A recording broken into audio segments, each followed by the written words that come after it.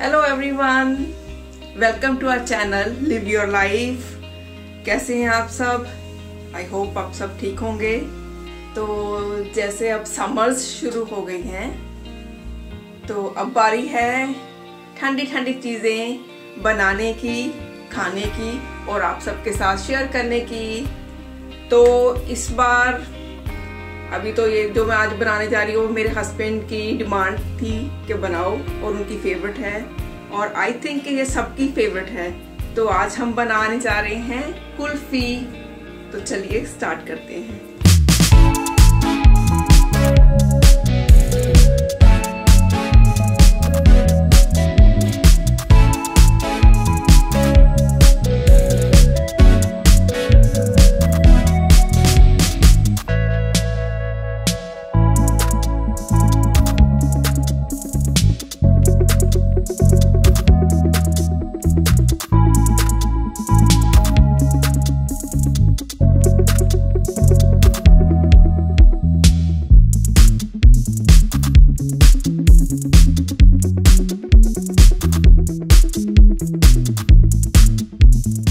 सबसे पहले पैन रखते हैं और गैस को करते हैं ऑन। और इसमें डालेंगे दूध।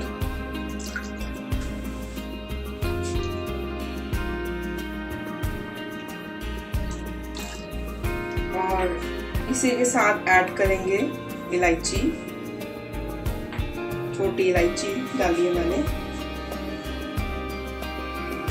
अभी स्टार्टिंग में तो आप गैस को हाई रखेंगे हाई फ्लेम पे हम पकाएँगे दूध को जब तक इसका बॉयल नहीं आ जाता, हमको दूध को वन थर्ड रिड्यूस होना चाहिए हमारा।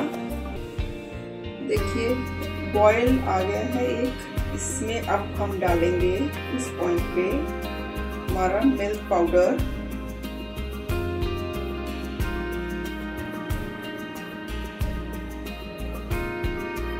धीरे धीरे डालना है, एक साथ नहीं डालेंगे। लम्ब्स नहीं पड़ने चाहिए। बस इस इस बात का ध्यान रखना है कि लम्ब्स नहीं पड़ने चाहिए।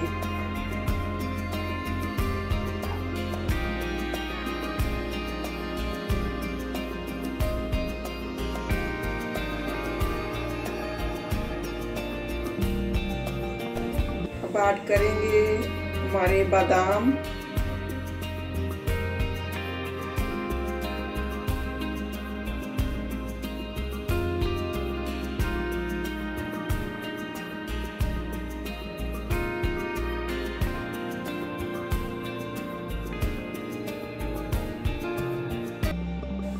टेन मिनट्स हो गए हैं इसको बॉईल होते हुए। ये थोड़ा गाढ़ा भी हो गया है दूध। अब इस पॉइंट पे हम डालेंगे पनीर।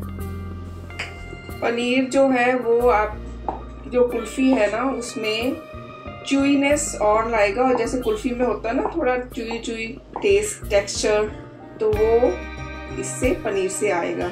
आप स्किप भी कर सकते हैं बट इससे थोड़ा थोड़ा नेचुरल सा टेस्ट आता है। जैसे नॉर्मली मार्केट में मिलता है।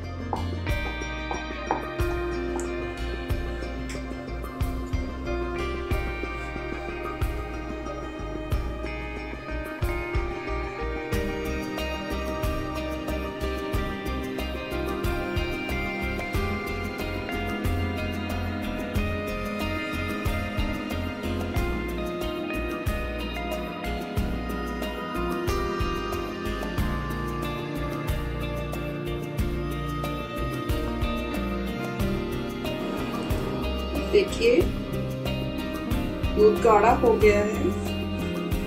अब हम इस पॉइंट पे डालेंगे चीनी।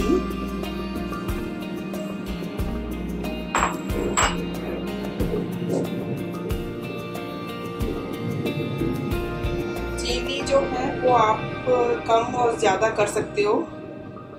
हमें थोड़ी सी ज़्यादा अच्छी लगती है तो हमने उसी हिसाब से डाली है, आप कम भी कर सकते हैं। चीनी हमने डाली है। तो अब ये थोड़ा सा पतला होगा तो इसको थोड़ा और पकाएँगे उस टाइम के लिए।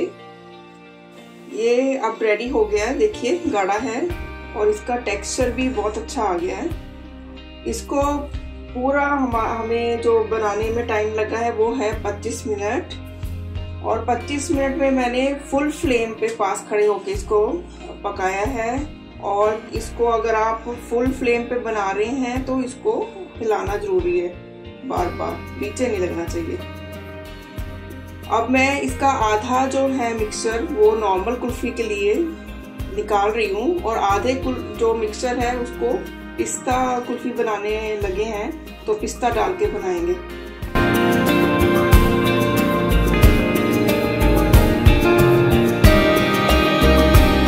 अब इस मिक्सचर में पिस्ता डालेंगे। और थोड़ा सा दूध और डालेंगे। दो चम्मच दूध और डालूँगी मैं। मिक्सचर जो हमारा है, वो गाढ़ा है, क्योंकि हमारा रेडी हो गया था। इसलिए अब जब हमने पिस्ता डाला है पिस्ता कुल्फी बनाने के लिए तो मैंने दूध इसलिए डाला कि उसका जो फ्लेवर है पिस्ता का, अब नारी कुल्फी में आ जाए अच्छी से। तो इसको थोड़ा सा भी पकाएँगे और साथ में मैं डाल रही हूँ ग्रीन फ़ूड कलर कुल्फ़ी बनाने के लिए जो दूध है, वो आप नॉर्मल दूध भी बॉइल्ड जो दूध होता है, वो भी यूज़ कर सकते हैं। लेकिन अगर आपने अच्छा रिज़ल्ट लाना है अपनी कुल्फ़ी में तो आप फुल फैट दूध यूज़ करें। अब ये रेडी हो गया है। गैस को करेंगे ऑफ़ और इनको ठंडा करने के लिए रखेंगे। मैंने कुल्फ़ी मोल्ड्स लिए हैं और साथ में ग्लास ले लिए हैं क्योंकि ये गिरे ना तो हम डालेंगे अब कुल्फी। इसका मिक्सचर इसमें।